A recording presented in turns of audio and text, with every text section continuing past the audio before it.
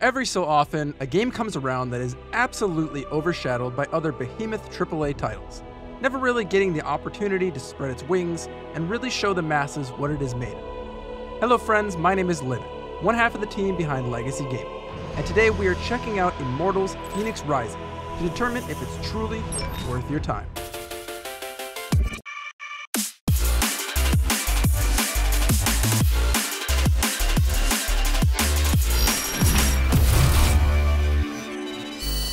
A little disclaimer about me right up front. In addition to gaming in general, mythology of any sorts is also my absolute jam. Heck, I even took electable courses in college just because I find it so fascinating. The over the top stories that reflect the human condition captivate you in an attempt to subtly teach moral philosophy. Any good game centered around mythology should firmly tap into this in addition to the fantastical imagery that comes along with it to really make a lasting impression. Now, what do you get when you take all of that, smash it together with the combat of Darksiders, the comedy and lightheartedness of Spyro, and combine it with a world and traversal system both straight out of Breath of the Wild? You get, in my opinion, one of the biggest sleeper hits of 2020, and I will explain exactly why. There is no better place to begin than highlighting the world and story that you will be exploring. And by no means is this world or story small. In fact, I'd go so far as to say it is deceptively large. At nearly 50 hours clocked into the game at the time of recording, I've cleared the main story, done a plethora of side quests and puzzles, and I still have a ton left to find and collect. You begin your tale as Fenyx, a simple shipwrecked soldier, who by the end of your journey will be worthy of standing shoulder to shoulder with the legendary heroes of the Greek world. Your entire adventure is narrated, often breaking the fourth wall, by Zeus, the smug comic relief of the story, and the Titan Prometheus, the moral compass as he is known for with his intelligence and for being a champion of humankind. Chained to a rock for giving humans the gift of fire, the two of them bicker back and forth amusingly for the entire story. On the mortal plane before you lies the Golden Isles, land of the gods themselves and sectioned off with areas themed to each of the featured gods in our journey. Aphrodite, the goddess of love, beauty, pleasure, and fertility, resides within the Valley of the Eternal Spring. Lush gardens, vibrant vistas, and an absolutely ornate palace comprises just some of the scenery you will take in. Athena, the goddess of a whole host of things, most notably war and wisdom, resides in the Grove of Kleos, another lush landscape full of immense palaces, libraries, and glistening statues that'll leave you feeling like you are touring the ancient architecture back in its prime. Of course, where there is Athena, there is Ares, the god of war and its purely destructive capabilities. Violence and brutality is a signature of his, and the war torn landscape full of ruins, remains, and scorched earth are a sharp contrast to the goddesses around. Last up, we have Hephaestus, who has a realm perfectly fitting for the god of craftsmen and fire itself. An absolutely massive forge fueled by towering furnaces, massive aqueducts, and bellows that will send you sky high, all in an attempt to make the fiery forge sing. Zeus even has his own region, an area you will visit much later on in the story called King's Peak. And let me tell you, it is both as regal and unforgiving as the god of lightning himself. It's truly one of the most breathtaking regions of this map. All of this is centered around the gates of Tartarus, the place where the underworld has infected the Golden Isles through the help of our main antagonist in the story, the Titan Typhon. He's reduced all the gods to a fraction of their former selves and locked their essences away, making it your main objective to retrieve them and restore the gods in an attempt to combat Typhon himself. The entire world is sculpted with most of the great myths from the Greek world in mind. Their stories often incorporated not only narratively, but visually in the landscapes, structures, puzzles, and even creatures themselves. It is abundantly clear that the Ubisoft team not only did their homework on Greek mythology, but they also passionately care about its implementation. Even though in most cases, jokes will come at you from Zeus and Prometheus about these stories as you come across them, they still managed to make the messages these were trying to tell come through. To say the team hit it out of the park narratively in this game would be an understatement of the year. It really is that enjoyable. Now, the reason I find the narrative so important in this game, especially, is because when it comes to the puzzles, a core progressional activity in this game, at either the start or end of nearly every single one, you will be treated to the story portrayed by the elements inside of each challenge. The game really never misses a beat to treat you to a terrible pun or genuine hilarious moment, taking the fabled myths and layering in a bit of humility on the ones who are telling. To say I only laughed at a few of these would be a lie. The fact that these bits of exposition are tailored at the start and end of these challenges is also important, because a majority of them are quite difficult and will often require you to focus. Across the world, you will come across various levers, switches, pressure pads, arrow targets, braziers, movable objects, and even lasers. All just possible elements of larger puzzles that will need to be solved to access the loot chests each one has locked away. These loot chests can contain numerous things, from upgrade materials and potion ingredients to brand new armor and weapons, even sometimes skins for said armor and weapons. In addition to these general puzzles that award physical loot, there are also specialized myth challenges that make up four possible categories and award various levels of Charon coins, essential for you to upgrade and progress your abilities.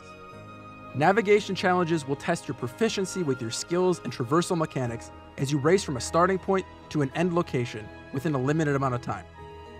Lyre challenges will have you locating small, hidden lyres that'll play a short sequence of notes that you must memorize in order to play them on the larger lyre in that region.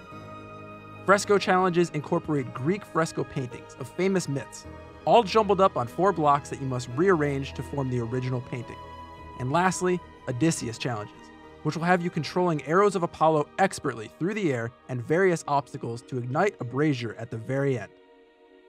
All of these challenges, despite having only really four types of these across the entire landscape, never get old, because the team each time has found creative ways to hide the elements using other puzzle mechanics to access them.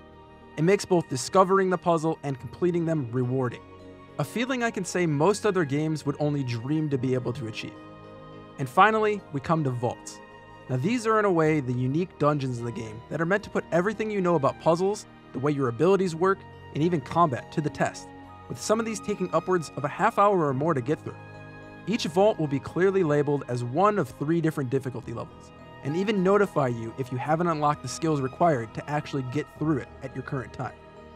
Now, these vaults feature a variety of final mechanics such as tougher puzzles, combat arenas, and even major boss fights, all resulting in a secret chest hidden somewhere in the level as well, and a bolt of Zeus's lightning at the end to aid in increasing your stamina pool.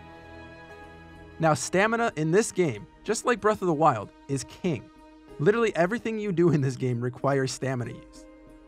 Swimming, sprinting, double jumping, climbing, flying, controlling arrows, picking up and throwing objects, even abilities in combat. It all requires stamina. While that may seem tedious, especially starting out, and trust me, Kodiak felt that way when he first tried it, it becomes effortless later on, making your progression actually feel rewarding as Fenyx grows in strength. As I mentioned earlier, Charon coins are essential to acquiring not only new combos for your bow, swords, and heavy axe combo attacks, but they are also key to unlocking and upgrading your godly abilities.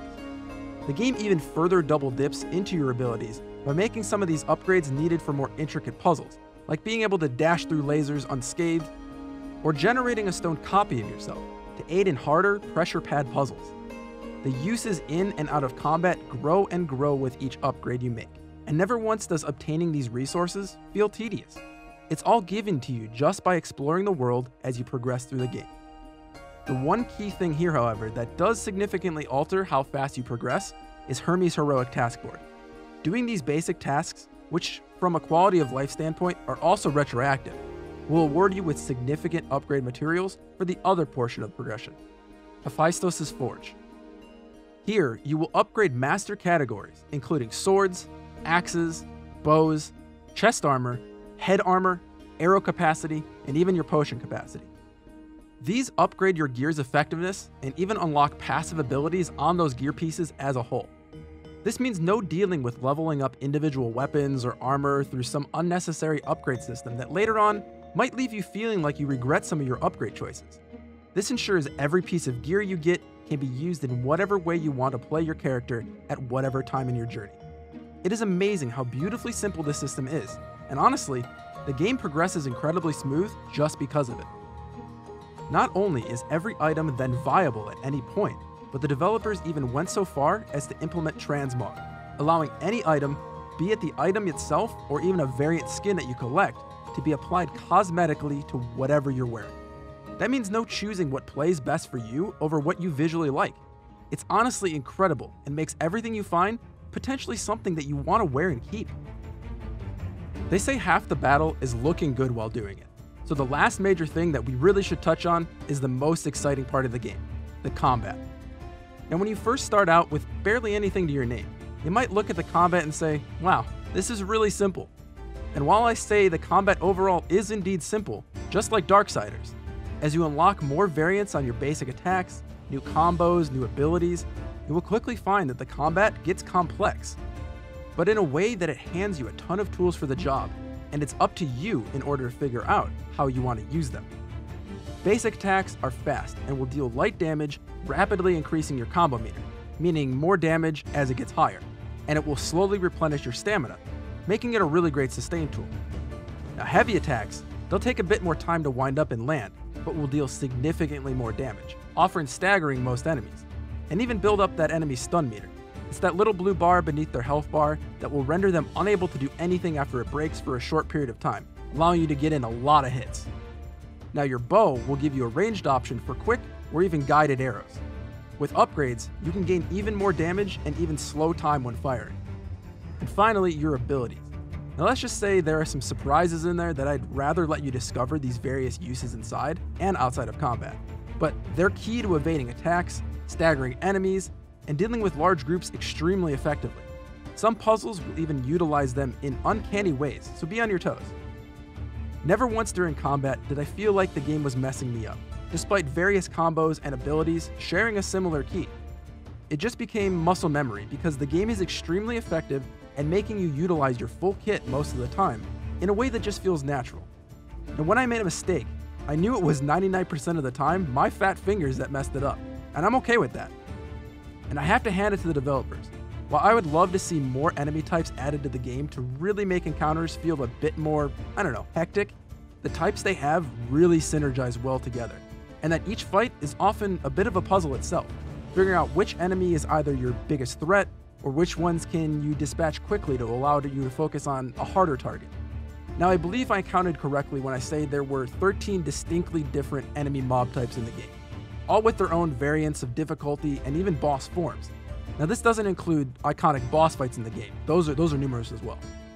It's just refreshing to actually feel your progression, not only in your character growing narratively, but also physically in strength, something a lot of games get wrong, but this one gets oh so right. So there you have it, folks. Immortals Fenyx Rising summed up with still a lot of room for your own discovery. I could honestly talk at length about this game, but I don't want to spoil a lot of it for you. It's a fast paced, open world RPG that sees every single one of its core systems elevating it to the next level. But now, if you haven't figured it out, is it worth your time? The answer for me is a resounding yes. So much so is that I would justify this game at full price, something I rarely do. But given that Cyberpunk and other titles may have overshadowed this game's launch, and their forced name change surely didn't help, this team at Ubisoft deserves all the support they can get for this game. I have well over 50 plus hours invested and find complete joy in still booting it back up to go collect all the things I've yet to get. Plus, with what looks to be substantial content coming in the next year of DLC, including an entire new story with a new hero in a new location, this is one to certainly keep your eyes on We hope this video helped you figure out if Immortals Fenyx Rising is worth your time. And honestly, even at full price, I'd recommend buying and supporting this new IP from Ubisoft.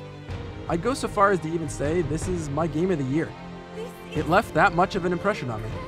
If you enjoy this series and you want more worth your time videos like this in your feed, go ahead and hit the thumbs up and consider subscribing to Legacy Gaming. If you choose to pick it up, I'd love to hear what you thought of the game either in the comments below or head on over to our Discord. Our community of over 6,000 members is spread across dozens of fantastic games. So if you're looking for some awesome people to hang out with and stay up to date on all our videos, consider becoming part of the Legacy. My name is Livid, and from everyone here at Legacy Gaming, thanks for watching, and play on.